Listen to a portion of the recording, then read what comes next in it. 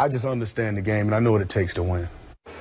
Stephen A., the Cowboys. What do you make of his comments? Number one, Jeremy Mincey. When you say you know how to win, you came in the league in 2007. You played for Jacksonville. Not one, not two, not three, not four, not five.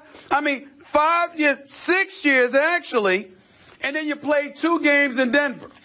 And other than that, you've been in Dallas. Now, last year you had a winning season, but you had one winning season in your career. what, do you, what, do you, mean you know how to win? I don't understand that. You played in Jacksonville, and, and now you're in Dallas. And we know what kind of year Dallas had. That's number one. Number two, you played this entire season.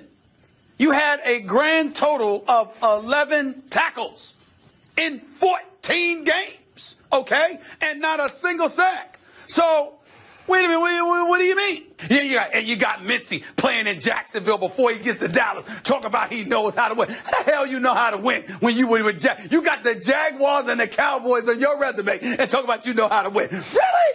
Really? Yeah, that okay. statement alone almost it. makes him as disqualified mm-hmm. as Greg Hardy does. I mean, come on now.